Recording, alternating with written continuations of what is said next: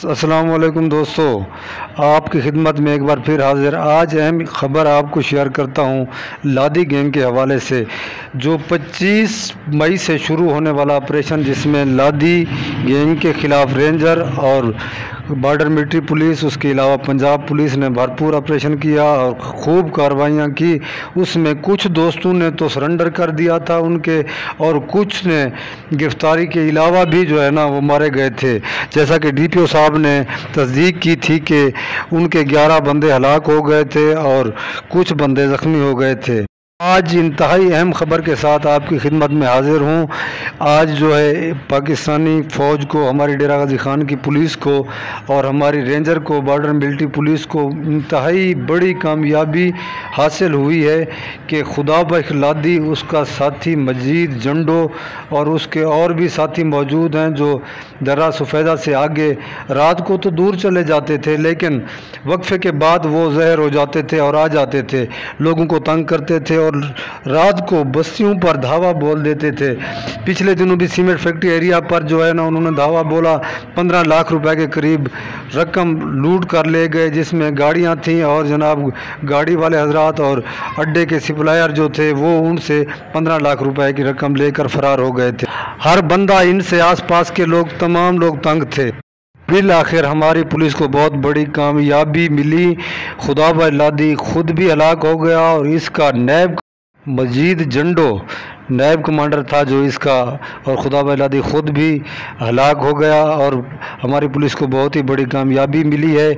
इसमें जो है ना, बॉर्डर मिलिट्री पुलिस का भी अहम किरदार है, हमारी पंजाब पुलिस का भी इंतहाई अहम किरदार है कि ये जो है इलाके के लिए नासूर समझे जाते थे। आज इनसे छुटकारा मिला और हमेशा हमेशा के लिए लोग पुरसकून तौर पर रह सकेंगे। याद रखें, खुदा लादी की मौत की तस्दीक डी पी ओ साहब कर चुके हैं और मजीद जंडों की तस्दीक उसके मरने की भी तस्दीक आ चुकी है। खुदा लादी की मौत की तस्दीक के मुतालिक आपको वीडियो भी दिखाएँगे और ये जो मजीद जंडो है, इसकी भी मौत की तस्दीक हो चुकी है। अब जो है ना, आगे आपको चल कर दिखाएँगे कि इन्हें किस तरह हमारी पुलिस ने इनके ख़िलाफ़ घेरा तंग किया और इन्हें मारा। ड्रोन कैमरों से इनका पीछा किया गया और इन्हें एक गार में जो है ना पहाड़ी के साथ इनका घिराव किया गया, जिससे ये बहर ना ही तो निकल सकते थे और ना ही कोई फायर कर सकते थे। याद रखें दोस्तों, ये दस से बारह आदमी थे जो यहाँ दरा सफ़ैस दस से आगे भागे हुए थे और जो है ना दिन को तो यहाँ से निकल जाते थे, लेकिन रात को ये वापस इलाके में आ जाते थे, जहाँ दिल करता वहाँ लूट मार मचा रखी थी इन लोगों ने। हालाँकि सबसे पहले हमने आवाज़ उठाई कि ये तो जो है ना, इलाके के लिए नासूर बन गए हैं। हकूमत वक्त को चाहिए कि इनके जो है बच्चों की, इनकी बीवियों की, इनके वालदेन की परवरिश अपने ज़िम्मे लें, क्योंकि वो तो बेगुनाह हैं। लिहाजा इन्हें अपने किए की सज़ा मिलनी थी बिलाखिर मिल गई है। और इनके मुतलक भी सबसे पहले हम आपको ख़बर से आगाह कर रहे हैं कि डी पी ओ साहब तस्दीक कर चुके हैं। खुदा लादी और मजीद जंडो, ये दोनों हलाक हो गए। इनके और साथी भी जो है कुछ ज़ख्मी हैं और किन्हों को ज़िंदा गिरफ़्तार कर लिया गया है।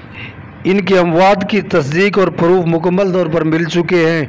अब इलाके के लिए हमेशा हमेशा के लिए पुरसकून और पुरअमन तौर पर लोग रहेंगे।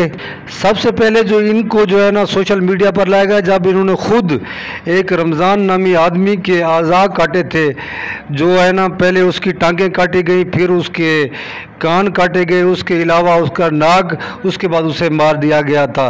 खुद इन्होंने खुद अपने हाथों से वीडियो बनाई और उसको जो है ना सोशल मीडिया पर अपलोड कर दी थी। उसी दिन से इमरान खान ने एक्शन लिया, जहाँ वो लिया में आए हुए थे और वजी पंजाब ने नोटिस लेते हुए रेंजर को, पंजाब पुलिस को और जो है ना, दीगर कानून नाफिज करने वाले इदारों को हुक्म दिया कि इन्हें फिलफौर ख़त्म किया जाए और इनकी रैंकी की जाए और जहाँ भी है, इन्हें पकड़ने की कोशिश की जाए। अगर हाथ ना आए तो इन्हें मार दिया जाए। अब अल्लाह के फजल करम से हमारी पंजाब पुलिस की भी खुदा ने सुन ली, इलाका वालों की भी सुन ली गई और इनको हराम मौत मौत के मुँह में धकेल दिया गया। ये जो है इलाके के लिए इंतहाई खौफ की अलामत समझे जाते थे।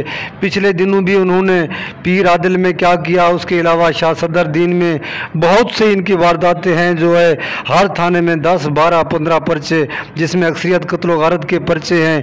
आपस की दुश्मनियाँ छोटी छोटी बातों को बढ़ाकर उन्हें कत्ल कर दिया जाता था। इन्होंने एक गैंग बना रखा था, जो बदनाम ज़माना थे पूरे डेरा गाजी खान के लिए, बल्कि जनूबी पंजाब के लिए। ये जो है ख़तरे की अलामत समझे जाते थे।